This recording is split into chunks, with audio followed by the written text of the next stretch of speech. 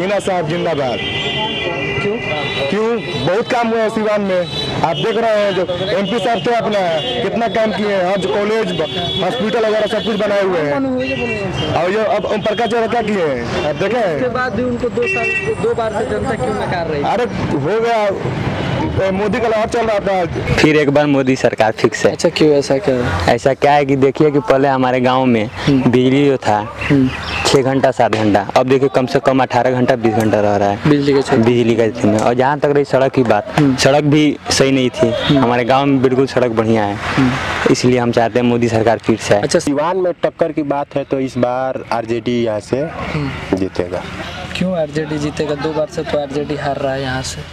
दस साल में कोई विकास नहीं आया लोग बदलाव चाहता है। अच्छा बदलाव चल तो बदलाव के तौर पे तो एनडीए ने भी अपनी प्रत्याशी बदल दिए। नहीं तो कविता सिंह खुला दिया चुनाव मैदान में वो अपनी अपनी क्षेत्र में वो विकास नहीं किए तो जिला में कैसे विकास अच्छा, करेंगे? Vote for Modi only Modi. लोग कितना शांति से बैठे हैं जी। इतना शांति से किसी राज्य में नहीं बैठते थे। व्यवसायियों के लिए बहुत सबसे बढ़िया हर चीज़ में बढ़िया है मोदी। मोहम्मदन यादव का वोट जिधर जाएगा उसको निकलना ही है यादव जी लोग सपोर्ट कर रहे हैं हिना जी का। ओम प्रकाश जी रहते तो हिना जी नहीं निकल सकते। नहीं निकलते नहीं निकल सिवान में क्या लगता है? किसके किस बीच में लड़ाई? मोदी मोदी के नाम पर किसी को खड़ा कर देंगे ना वो जीत जाएगा। वो जाति धर्म की बात ना है। सिवान का विकास तो साउद्दीन साहब ही करते हैं। और ओम पर तो चुनाव मैदान में नहीं है। और नहीं है उनकी बीवी है। जी। लेकिन वही इलेक्शन जीतेंगे। परिवार के लिए देखिए स्पष्ट बात करूँ तो दोनों के पति का रिकॉर्ड आपराधिक है।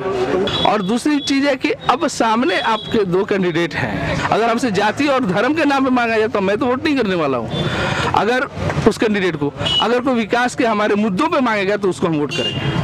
फिर आएँगे मोदी जी फिर आना ही है मोदी जी को। अच्छा सिवान का चुनाव कैसे होगा? कैसे होगा? मोदी जी के नाम पर होगा कि स्थानीय प्रत्याशी मोदी मोदी जी के नाम पर होगा। साथ जीतने वाले हैं सिवान साहब। में जी क्यों जीतने वाले हैं इसको कोई वजह? हिना साहब की इधर वोटर ज़्यादा है इधर। वोटर ज़्यादा जी। मोदी जी आ रहे हैं। फिर नैबे करियन की जोयन कहा फिर आवत आ रहे। यहाँ का जो चुनाव है विशेष करके मोदी जी के ही नाम पर चुनाव लड़ा जा रहा है या हम लोगों को देखने से रहे हम लोग नेता है नहीं। हम लोगों को चुनाव से कोई लेन देन नहीं है। हम लोग कारोबार करने वाले आदमी हैं लेकिन ऐसा अनुमान होता है कि नहीं वो चुनाव तो मोदी जी के नाम पर ही लड़ा जा रहा है। मतलब स्थानीय वोटर जब वोट देने जाएगा तो मोदी के मोदी जी के ही नाम पर वोट देगा।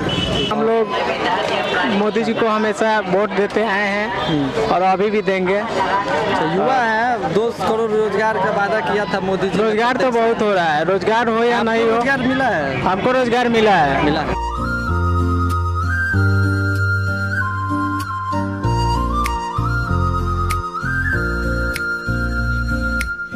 सपनों को बस्ते में रख कर चले हम।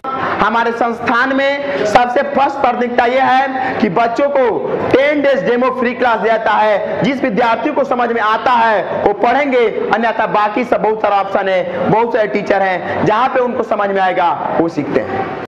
हाँ दो आदमी की जानकारी है। किनका किनका? कविता सिंह कविता सिंह और? हिना क्या लगता है कौन निकलेगा?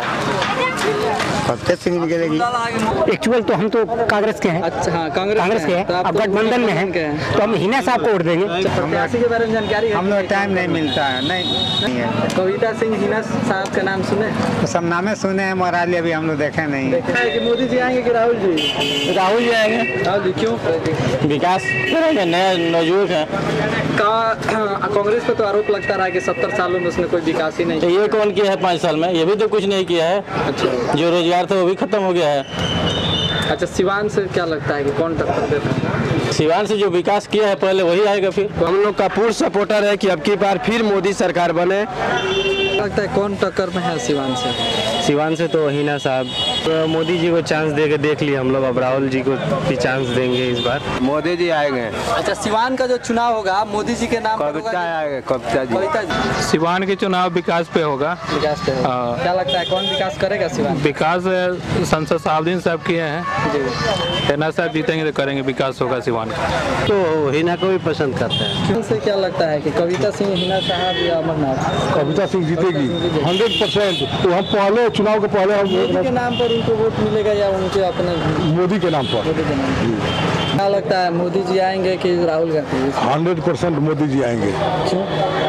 क्योंकि देश का सुरक्षा का बात है देश के विकास के बारे में बात है। अच्छा सिवान से क्या लगता है कि सिवान का विकास कौन करेगा? चुनाव का विकास वही करेगा जो मर्द होगा। कौन मर्द है? अब जो सामने इलेक्शन बात पूछिएगा बताएँगे। चुनाव का विकास मर्दे करता है महुआ कहाँ से करेगा? यहाँ तो दो दो महिलाएँ लड़ रही हैं मर्द खाएगा। उसमें ये मर्द है कोई। बीस साल चाहिए प्रधानमंत्री इस देश के लिए कम से कम ये। नरेंद्र मोदी। क्यों?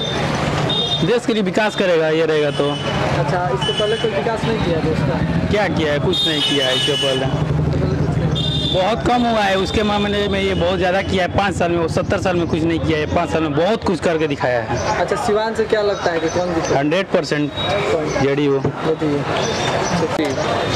देखिए मोदी जी का तो कोई उम्मीद ही नहीं। है इसलिए कि भारत की जनता अब उनको नकार चुकी है। अच्छा सिवान से कांग्रेस कविता सिंह।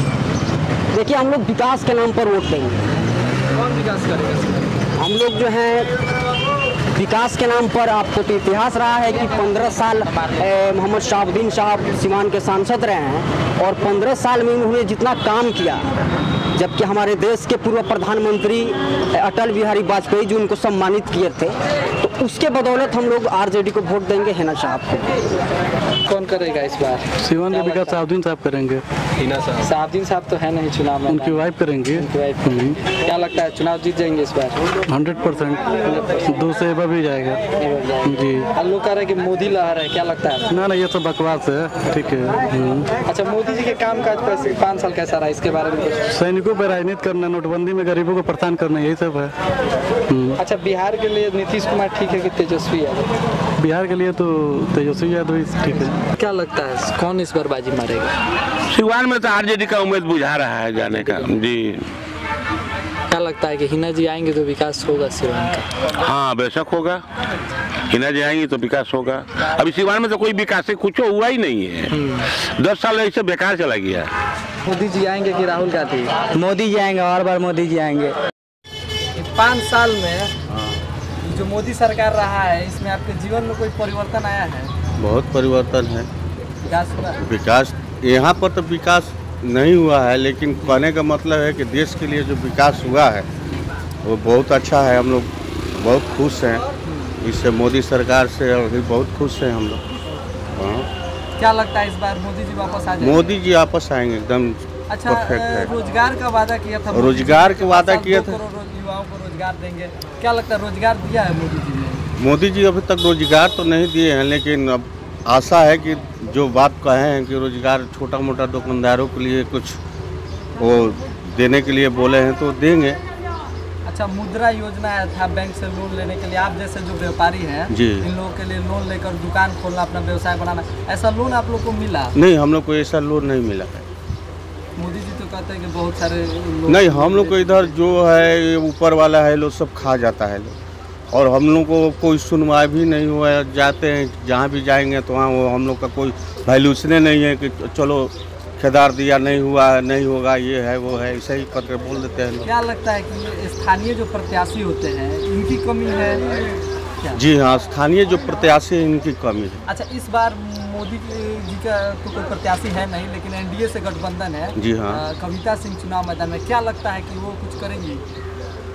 अब देखिए ये क्षेत्र से वो तो है हम लोग उससे दूर है लेकिन अब भविष्य में अभी तक कोई आया कहा के पहले जो भी अच्छा कल जो भी प्रत्याशी है वो आप लोग के पास आए हैं अभी तक? अभी तक तो नहीं आए।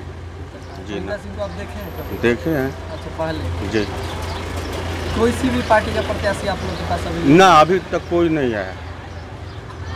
आपको क्या लगता है कि मोदी जी के नाम पर यहाँ जीत जाएँगे लोग मोदी जी के नाम पर देखिए कहने का मतलब है कि जो आदमी हमको लगता है कि सत्तर परसेंट वोट जो है मोदी जी को मिलेगा। जी।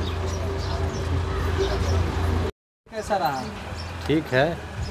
हाँ। हम लोग के लिए ठीक। मोदी जी आएँगे या राहुल गांधी? देखिए कौन आता है। क्या लगता है आपको? देखिए। आज सिवान के लिए क्या मुद्दा रहेगा इस बार के लोकसभा चुनाव में? इस बार तो प्रत्याशी बदला है। हाँ विकास से मुद्दा रहेगा दूसरा क्या होगा?